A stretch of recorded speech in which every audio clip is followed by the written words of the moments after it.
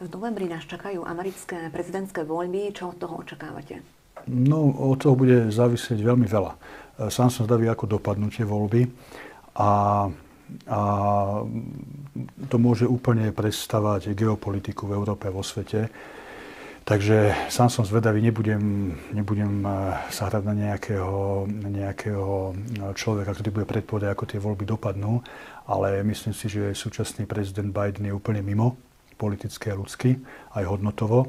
A keď už ktokoľvek príde na jeho miesto po ňom, tak ho čaká veľká práca a pokiaľ by náhodou zvíťazil Donald Trump v tých amerických e, voľbách, tak naozaj sa budú diať zaujímavé veci vo vzťahu k Ukrajine, pretože jeho vyhlásenia vo vzťahu k Putinovi k Ukrajine sú verejne známe.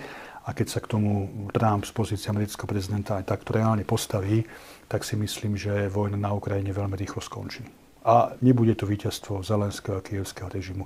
No ale to už potom je pravda, že geopolitika a myslím si, že aj v Kieve, aj v Bruseli, aj vo Washingtone, aj v Bratislave, aj v Moskve si uvedomujú, že bez ohľadu na to, kto vyhrá tie americké voľby, je už dnes každému jasné, že dlhodobo nemôžeme takýmto spôsobom podporovať kievský režim. A to si už uvedomujú aj predstaviteľe členských štátov EÚ, lebo už ich vlastné obyvateľstvo sa proti tomu búri. Je to všetko na úkor e, našej normálnej existencie. Ďakujem pekne za rozhovor, že ste ku nám prišli. Ďakujem veľmi pekne. Všetko dobré. Dovidenia.